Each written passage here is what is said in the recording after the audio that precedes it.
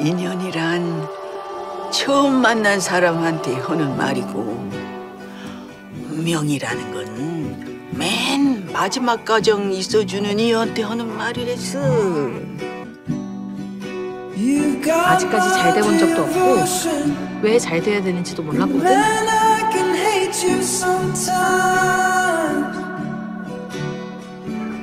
근데 이제부터는 잘 되려고.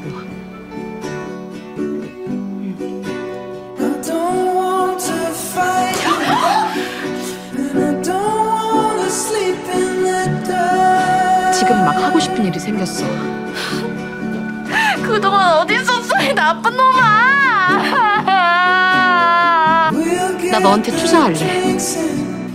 나도 좀 보라고 나도 지금은 가진 게 없어서 일단은 나부터. 그 복수 내가 도와줄게. 희주야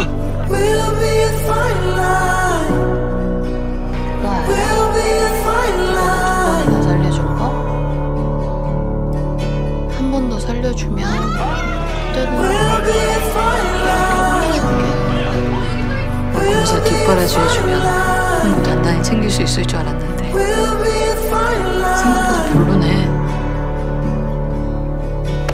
너 일로 와. 아, 어, 어, 장난, 장난. 아니, 아니, 아니, 아니, 장난, 장난, 장난.